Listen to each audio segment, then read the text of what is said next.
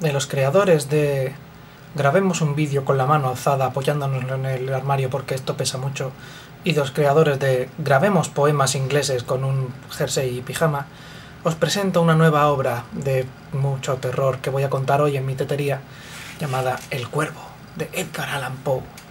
Hay que poner voz así para que dé más miedo. De lo contrario sería El Cuervo, Cuervo, que por cierto la traducción ha afectado mucho a la interpretación que se tiene mm, así en España de los poemas de Poe, porque mm, Raven, que es el nombre inglés de eso, de Raven, mm, no es un cuervo así, que tú ves un cuervo como, mira, un cuervo, que oh, se ha subido en una calavera y está diciendo nunca más. Vale, no, el cuervo, o sea, Raven, eso es un- el tamaño de un un perrete adulto, es da todo el terror, se te pone una calavera y te dice nunca más, y tú dices, nunca más, en serio, de verdad, que nunca más, lo que tú quieras, yo, yo no lo hago más. Ven ustedes la diferencia de Raven. Voy a proceder a leerles la primera estrofa para que ustedes se hagan una idea del perfecto inglés de Macharabiaya que tengo.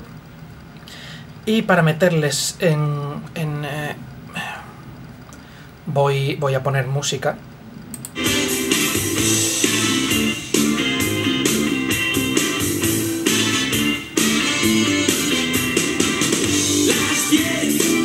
Es de demasiado miedo, lo siento. Señores y señores, The Raven by Edgar Allan Poe. Once upon a midnight dreary, while I pondered, weak and weary, over many quaint of curious and curious volume of forgotten lore, while I nodded, nearly napping, suddenly there came a tapping, as of someone gently rapping, rapping at my chamber door. "'Tis some visitor,' I muttered, tapping at my chamber door, only this and nothing more. Ah, distinctly I remember, it was in the bleak December, and each separate dying ember roughed its, rough, rough, its ghost upon the floor. Eagerly I wished the morrow, vainly I had trained to borrow from the box books sources of sorrow, sorrow for the lost Lenore, for the rare and radiant maiden whom the angels name, name Lenore, Lenore, nameless here for evermore.